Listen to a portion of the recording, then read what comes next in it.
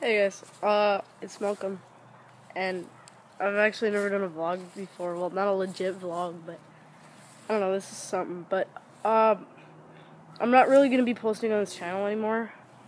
I just want to say that for the least. Um, I'm gonna be helping out my one of my friends, uh, Josh Carlson, with uh, his channel. He's starting gaming channel. If I can, I'll put the link in the description. But just search up Josh Carlson, you'll find him. He's like brand new. He doesn't even like I haven't even subscribed to him yet, but I'm gonna be helping him gameplays, commentaries, just stuff like that, getting him gameplays, and all that jazz, editing. I'm gonna help him out.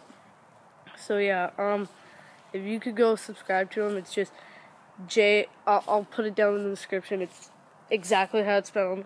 Sounds Josh Carlson. It's exactly how it sounds. I'm not gonna really be posting on this channel anymore.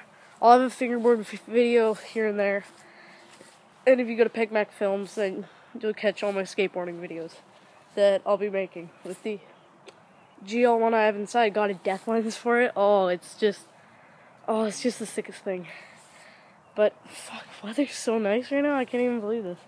But yeah, so um, if you could go sub to him right now, Josh Carlson, that would be very appreciated.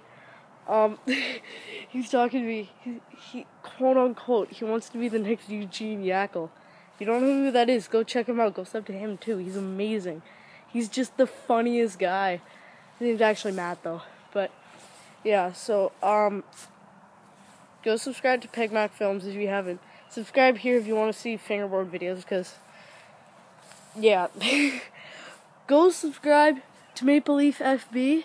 That was random. Just do it and go subscribe to Josh Carlson. So yeah, um, I hope you like guys like this video, and go subscribe to this channel if you haven't already. PegMac Films, Josh Carlson, and Maple Leaf FB. So yeah, hope you guys have a good day.